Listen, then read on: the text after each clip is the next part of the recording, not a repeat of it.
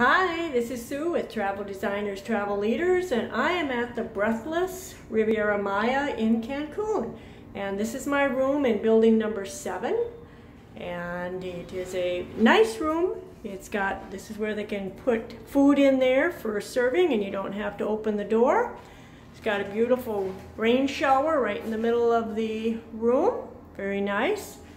And then of course you got double sinks, so lots of room. Lots of room there normal toilet that is there and then you come in through here. Lots of space very light very airy. And there is the bedding.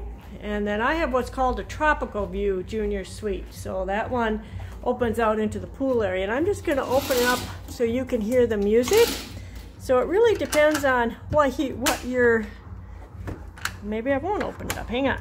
There it is. There I'm right on top of the music. So what do you think of that not good for my room, but they said they will close it down at 5. So if they don't, I'll have to go crazy on them. But anyway, it's a beautiful room, very large. Beautiful weather here in Cancun. Probably about 75 degrees, sunny, not too humid, really nice. Nice chairs out here on the deck. Take a look at that. So really, and even got a lounger out here. So very nice room. Just not so crazy about the music right now.